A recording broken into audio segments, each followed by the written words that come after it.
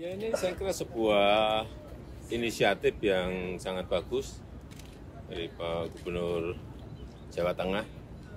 Dulunya ini PLK, kemudian digeser menjadi SMK dan khusus untuk keluarga keluarga yang tidak mampu.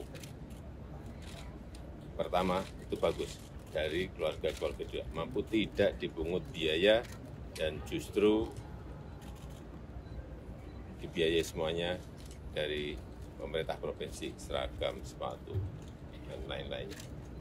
Makan, karena ini coding, school, sangat bagus. Yang kedua, saya melihat juga sarana prasarana, kalau saya melihat SMK di provinsi yang lain ini juga jauh lebih bagus. Mesin-mesinnya sampai ke CNC, semua mesin dasar sampai CNC semuanya ada semuanya kemudian melingkan dengan industri di sini juga sudah dilingkan dengan industri. Dan tadi juga ada apa? Kursus bahasa Jepang untuk mendapatkan beasiswa di college yang ada di Jepang. Ini juga bagus.